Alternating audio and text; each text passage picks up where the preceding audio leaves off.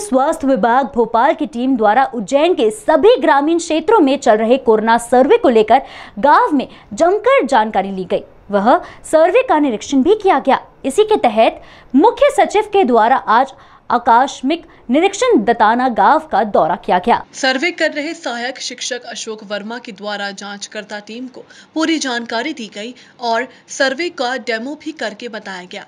निरीक्षण करने आए दल के द्वारा सर्वेकर्ता से संतुष्ट होकर उनके कार्य की प्रशंसा की गई व उन्हें अच्छे कार्य के लिए बधाई भी दी गई।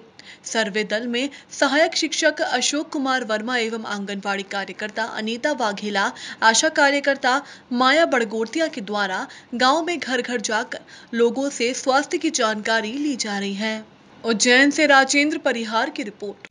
हमारे द्वारा कोविड 19 का सर्वे पूरे गाँव में किया जा रहा है, जिसमें ऐसे मरीजों की तलाश की जा रही है, जिसमें सर्दी, जुकाम, खांसी, बुखार आदि समस्या से ग्रसित है। उनकी जानकारी लेकर ऑनलाइन सरकार के ऐप पर दर्ज की जा रही है। आपका नाम? अशोक वर्मा सहायक शिक्षक गांवड़ी। कौन कौन है आपके साथ दल में? मेरे साथ में मैं हूँ बी एल ओ हमारे अनिता बाघेला है और एक आशा का वो कार्यकर्ता है माया बड़गोतिया। हम तीन लोगों का दल है जो सरकार द्वारा गठित किया गया।